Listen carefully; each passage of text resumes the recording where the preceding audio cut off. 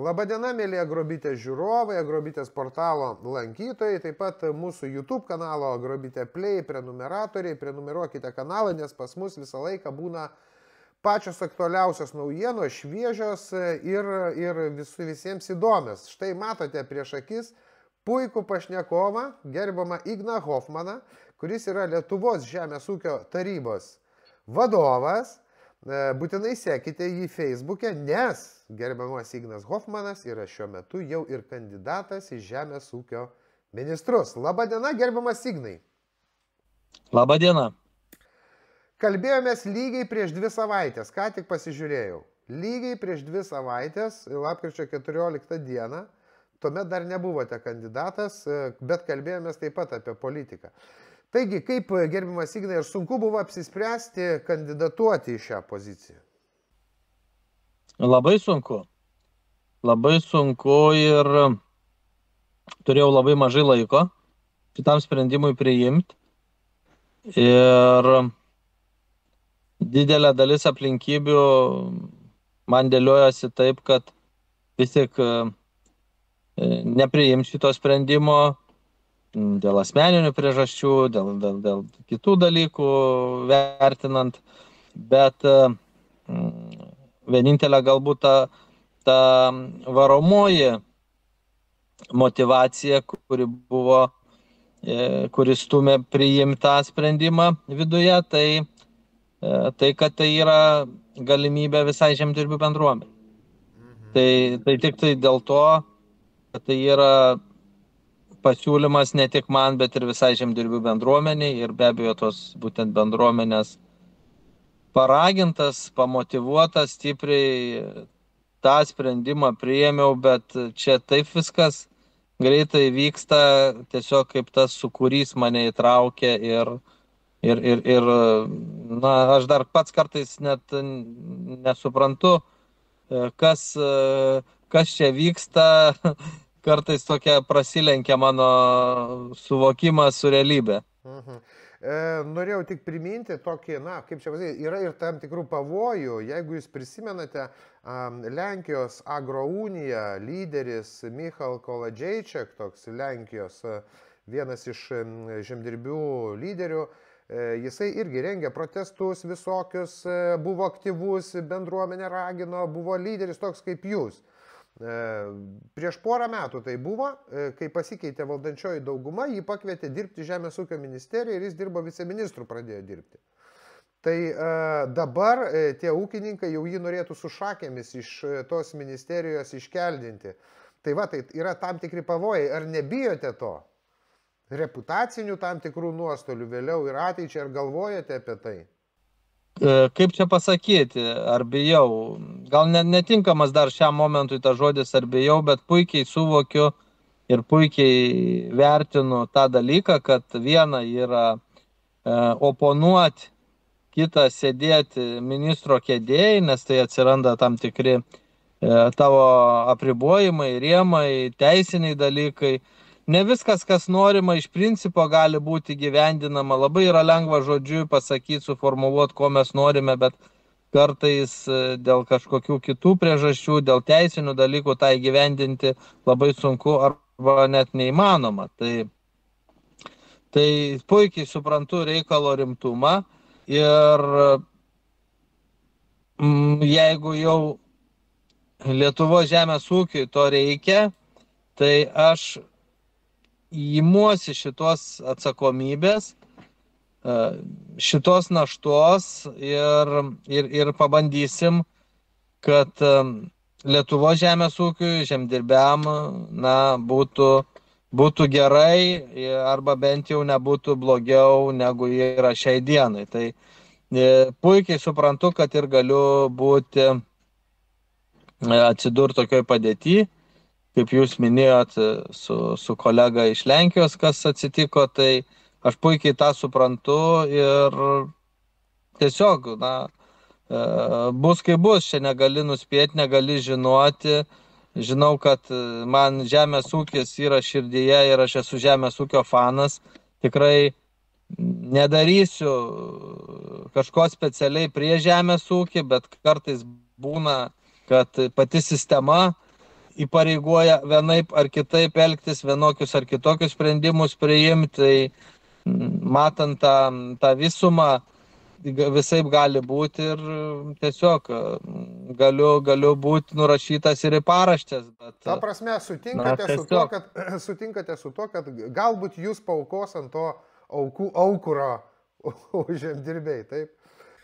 Tai ir taip gali būti, ir, ir politiniai vėjai irgi taip pat suprantu, kad labai realiai vertinu tą dalyką. Šiandien tu ministras, rytoj nebe ministras, e, viskas yra labai trapu ir viskas labai greit gali vykti, jo labiau, kad dar ir, dar ir man neaišku, kaip čia bus, ar aš tikrai dar būsiu tuo ministru, nes yra dar tik kelio pradžia net ne vidurys, tai pažiūrėsim, kaip čia bus. Aš, aš neturiu jokių iš ankstinių lūkesčių, ta prasme, dėl šitos pozicijos. Ir kaip bus, pamatysim. Kitaip sakant, kaip jūs kažkada esate sakęs, nesakyk, op neperšokios griovio. Taip. Liaudės išmintis neveltui tą sako. Gerai. E, buvo toks įdomus dalykas pastarosiomis dienomis, kai tik jūsų pavardė išlindo į viešumą, jau pradėjo sklysti ratilai nerimas iš Žemės ūkio rūmų. E, Žemės ūkio rūmai vieni iš jūsų oponentų buvo kolegos, kaip sakoma, ir kritikos be galo daug iš Žemės ūkio tarybos, nes pati Žemės ūkio taryba atsirado iš Žemės ūkio rūmų uh, organizacijų, kurios jai priklausė kažkada, vėliau išstojo į asociacijos ir įkūrė Žemės ūkio tarybą. Kaip čia jūs matote ateitį arba bendradarbiavimą, ar toliau eskalavimą viso to, ar mėginsite rasti kažkokių bendrų taškų? Na, taip, jūs teisingai tas aplinkybės paminėjote, mes buvom tarsi skirtingose barikadų pusėse, nes daugeliu klausimų išsiskirdavo mūsų pozicijos, mūsų, mūsų matymai, bet čia reiktų suprasti vieną dalyką, kad e, esminis kriterijus tai yra Lietuvos žemės ūkis, valstybės interesas ir po to jau žemdirbių interesas. Tai ši čia ir yra svarbiausia. Ir jeigu žemės ūkio rūmai turės konstruktyvių pasiūlymų, gerų pasiūlymų, kurie turi, turi, turi e, pridėtinę vertę, jeigu taip galima išsireikšti žemės ūkiui, tai kodėlgi ne, viskas tvarkuoja. E, mūsų ben, turi, mes turim visi bendrai matyti ir žiūrėti vieną kryptim ir mūsų visų interesas turi būti Lietuvos žemės ūkis. Jeigu matysiu, kad netitinka, ne, ne, ne, ne, nesutampa tos pozicijos, tai be abejo bus galbūt ir kažkokie kiti sprendimai, bet tikslas turėtų būti žemės ūkis. Mhm.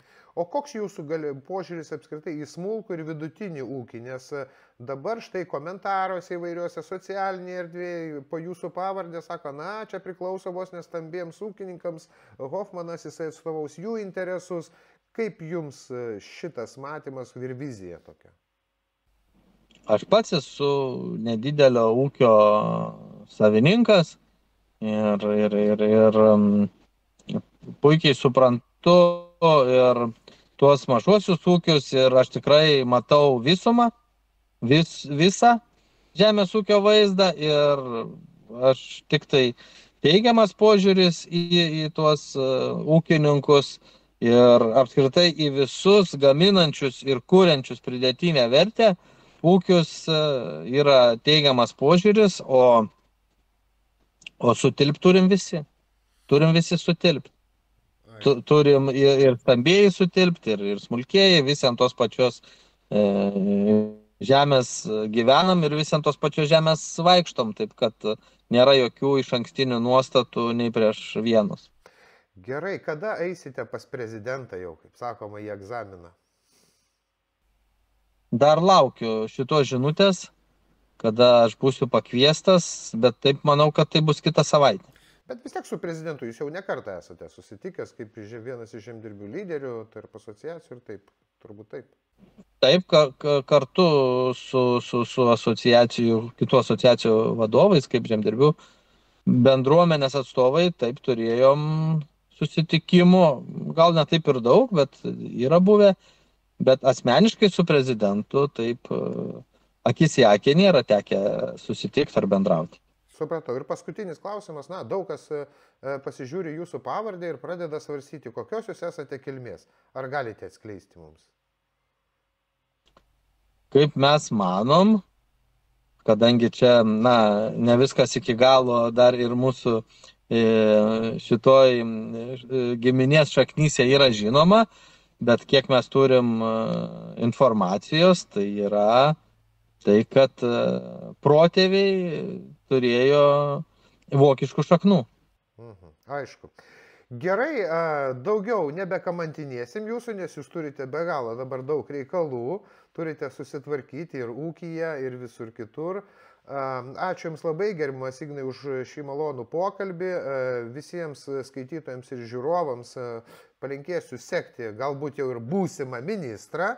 E, socialinėme tinkle Facebook žinosite, ką jis galvoja, ką jis mano, o mūsų YouTube kanalo Grabite Play e, žiūrovus e, paskatinsiu, prenumeruokite mūsų kanalą, kad nepraleistumėte štai tokių įdomių pokalbių kaip šis. Ačiū Jums gerbiamas Ignai ir linkime Jums ko geriausios kloties.